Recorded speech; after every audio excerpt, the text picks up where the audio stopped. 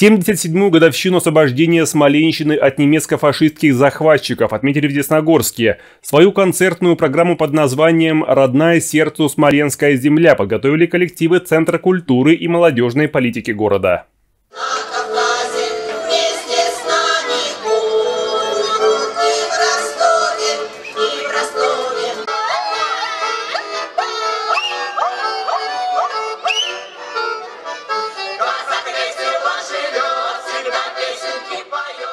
Музыкальные поздравления прозвучали на городской летней эстраде. Участники адресовали свое творчество в первую очередь ветеранам, проживающим в Десногорске и области, тем, кто видел и прошел войну, ведь именно они остаются главными героями Великой Победы. Разве что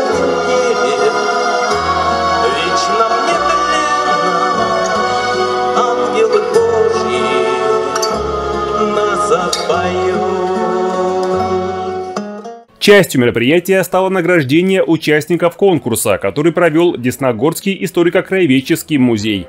19 сентября отмечается День фронтовой собаки, и у горожан была возможность заявить своего питомца на участие в фотоконкурсе «Верный друг».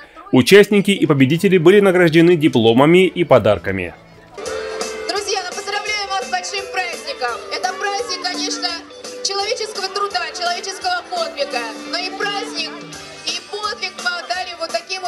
Посмотрите, какие у нас хорошие и верные друзья. Праздничная программа закончилась с наступлением вечера эффектным фаер-шоу.